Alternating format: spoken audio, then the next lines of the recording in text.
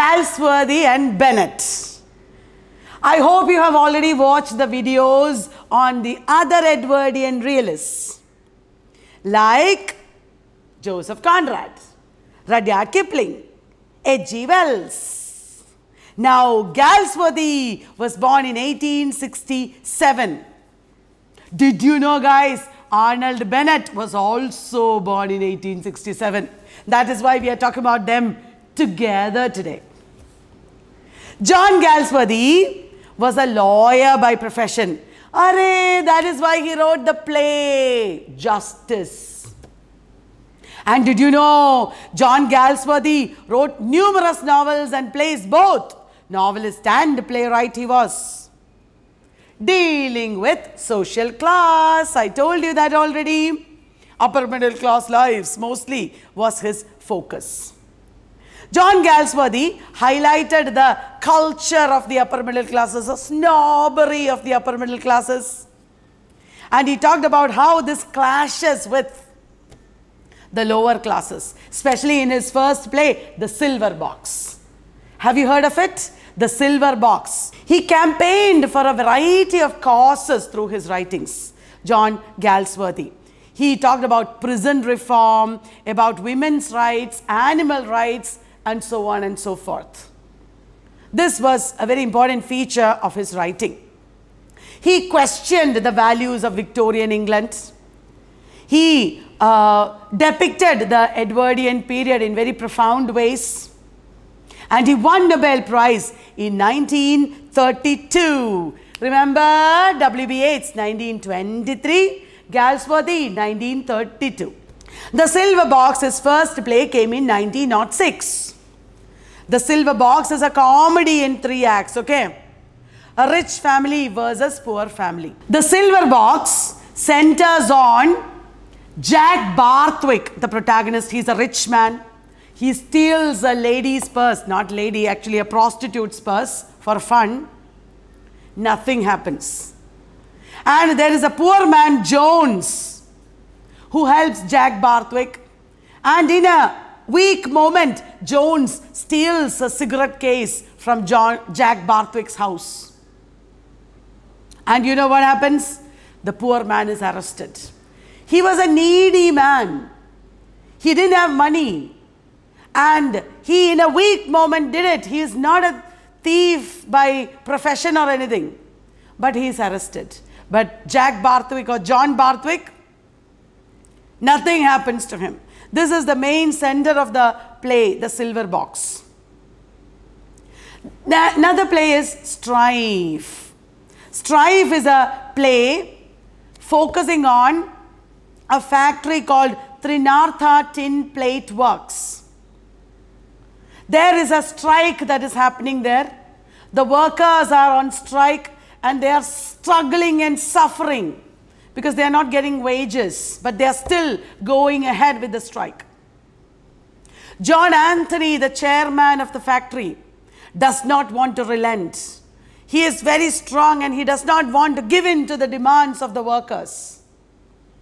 The leader of the workers is David Roberts.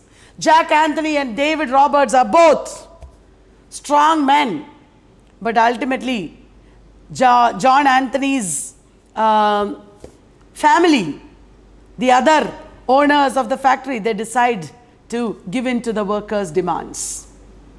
This is the play Strife, which shows both sides. It shows the side of the directors as well as the workers. It's a very balanced play for that matter. Another play, Justice 1910, is very famous. In Justice, the problem of poor people being arrested and put in solitary confinement, etc., is dealt with in a very realistic manner. William Falder is the protagonist. He forges a check to help his poor girlfriend. And the consequences of this is the theme of justice. Did you know, guys? This play led to prison reform.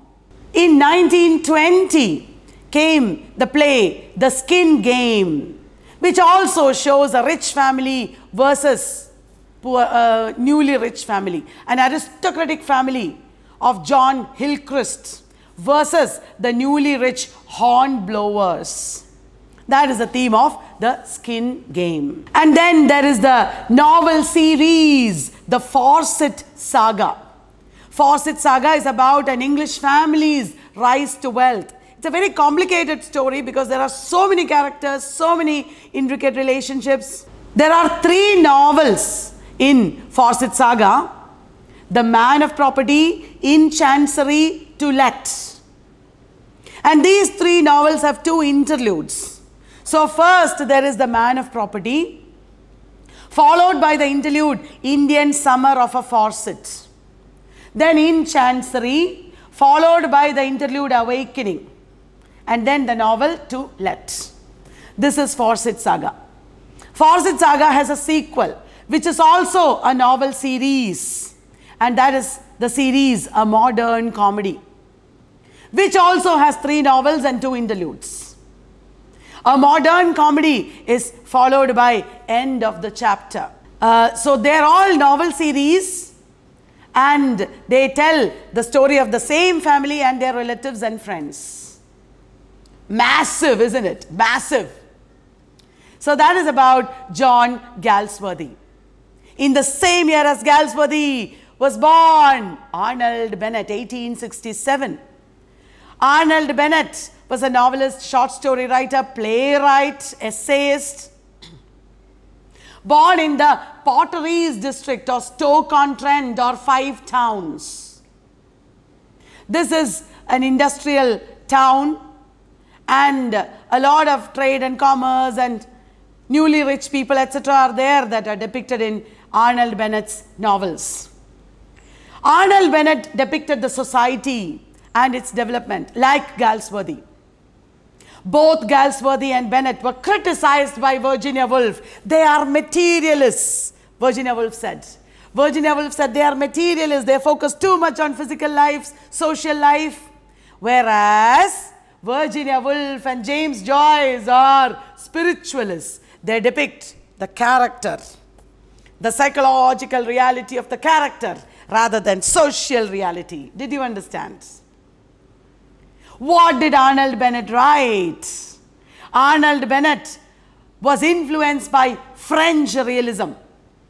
His novels reflect the influence of Maupassant, Zola, Flaubert. And his first novel is A Man from the North. A Man from the North. He has also written many other novels, including Anna of the Five Towns set in the potteries. His novels were not all of the same kinds. He wrote different kinds of novels. Some of them were thrillers, like The Grand Babylon Hotel, The Gates of Wrath. Remember? The Grapes of Wrath is by John Steinbeck. The Gates of Wrath is by Arnold Bennett. And he wrote many short story collections also. Arnold Bennett's masterpiece is said to be The Old Wives' Tale. It is about two sisters. Hey, do you remember? George Peele also wrote The Old Wives' Tale. It is a title that George Peele has also written. And then comes Arnold Bennett's Clayhanger trilogy. The Clayhanger trilogy includes Clayhanger, Hilda Lessways, these twain important titles forming Clayhanger trilogy. Now, Arnold Bennett was also a playwright. I told you that already.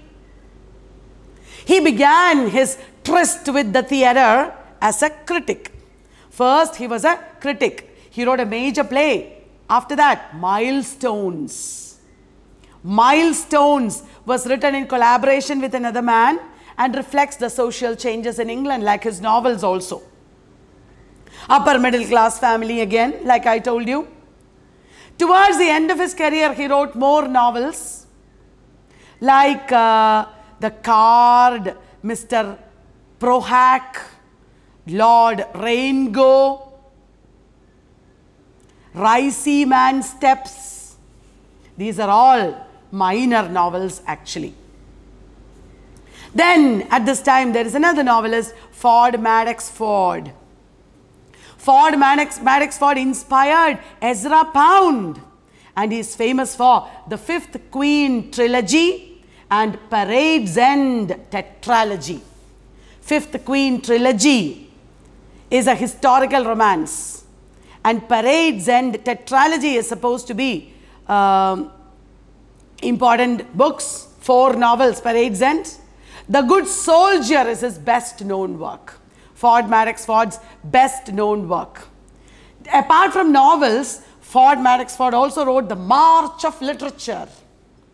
It's a history of present uh, day literature of his time. So these are some of the important novels. The next novel is on E.M. Forster, another Edwardian realist. Make sure you watch that also. E.M. Forster is often prescribed in universities as well. So, as I always remind you, do your own reading and research and make your own notes. Along with Videopedia, your notes. It will be a bindas combination. It will help you pass various exams. So, happy reading and happy research. Thank you all. Until the next video, bye-bye.